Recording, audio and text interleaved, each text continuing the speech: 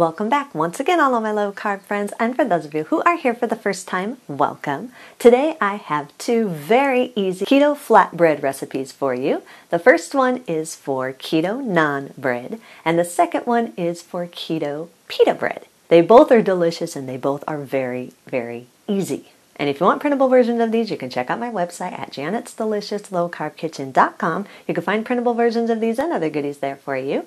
And if you're new to the channel and you want to see lots of easy, delicious keto recipes, make sure you click that subscribe button and click the notification bell that's right next to the subscribe button. That way you can be notified every time I put out new videos every Wednesday and Saturday. And if you'd like to help support the channel, make sure you scroll down in the description of the video. You'll see some affiliate links. Anytime you purchase anything using those affiliate links, a small portion of your purchase will go to me and help support the channel. So, while you do all that, let's get cooking.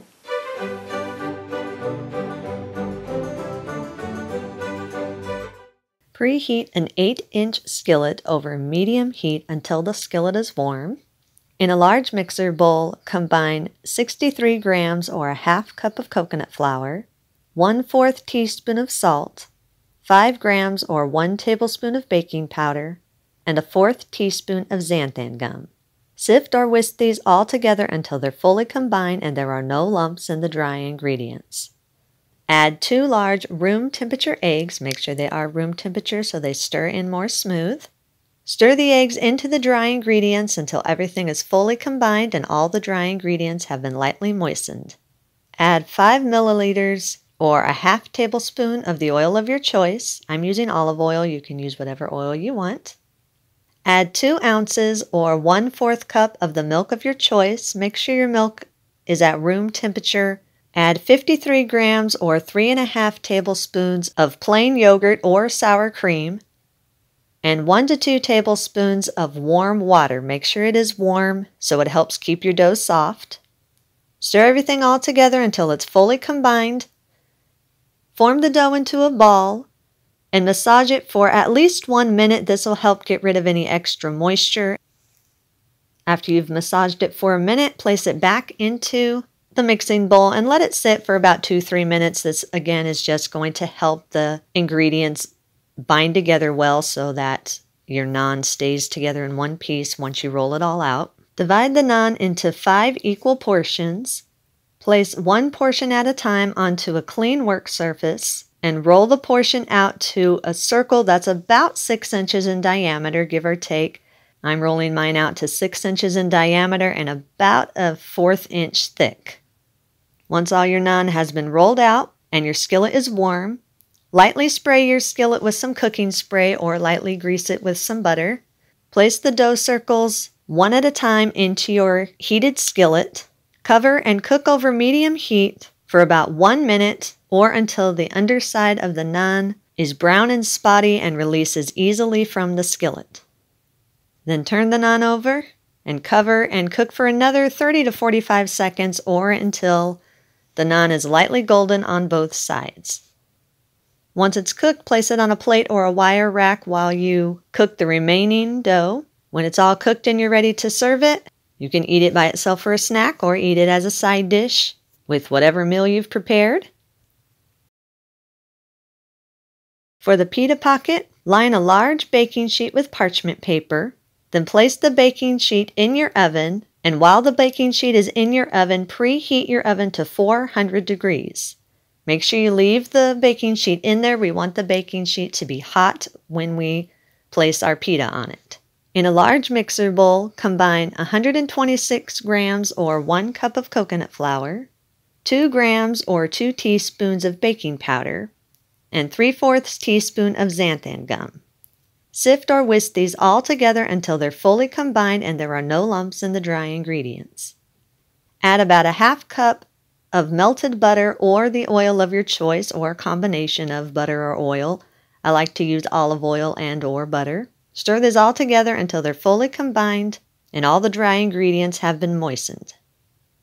Add 6 ounces or 3 fourths cup of warm water. Make sure it is warm water so this keeps your dough nice and soft.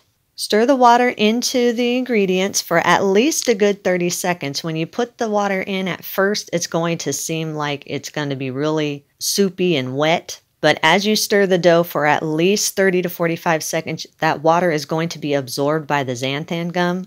This is what will help your dough to bind together. This recipe does not contain eggs, so the xanthan gum is your binding agent. If you do not have xanthan gum, you can use a couple tablespoons of finely ground flaxseed meal. Your texture will be a little bit different, but it will still be tasty.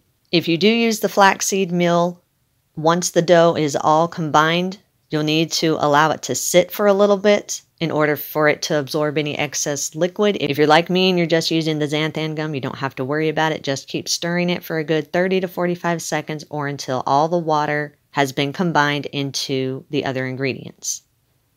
Once everything is fully combined, form the dough into a ball and massage it for at least one minute so that any extra moisture can get absorbed and that the xanthan gum can start doing its magic and binding the ingredients together. After massaging it for a minute, divide the dough into about 10 portions Line a clean work surface and take one portion at a time and place it onto your clean work surface. Roll each portion out to a circle that's roughly about 6 to 8 inches in diameter and about 1 8 inch thick. Once your dough portions have all been rolled out to the 6 to 8 inch circles and about an eighth inch thick, take one dough circle and place it on top of another dough circle.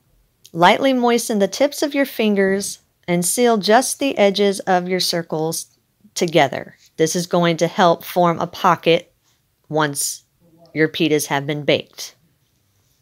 Once you're done stacking and sealing your circles, you should have about five pitas. Remove your baking sheet from the oven and place your pitas onto the baking sheet. And place the baking sheet in your preheated oven. Bake at 400 degrees for about 7 to 10 minutes or until lightly golden around the edges. Once it's done baking, remove it from the oven. Allow it to cool on your pan for at least five minutes before transferring it. After five minutes, transfer the pitas to a wire rack and allow them to cool completely before you cut them.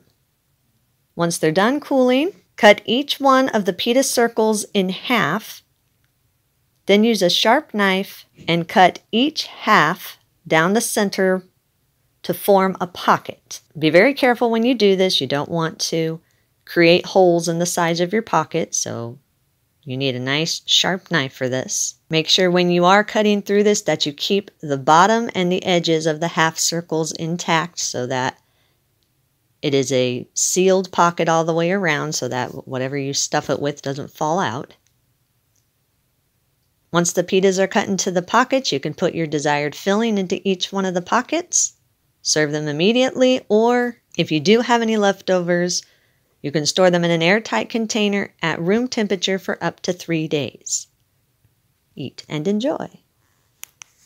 And that's the recipe of the day. I hope you enjoyed it. If you did and you want to see more videos like this, make sure you click that thumbs up like button, click that subscribe button, leave me a comment if you want to. Let me know if there's any recipes that you'd like to learn how to make, and I'll do what I can to get those out there for you. And as always, keep cooking.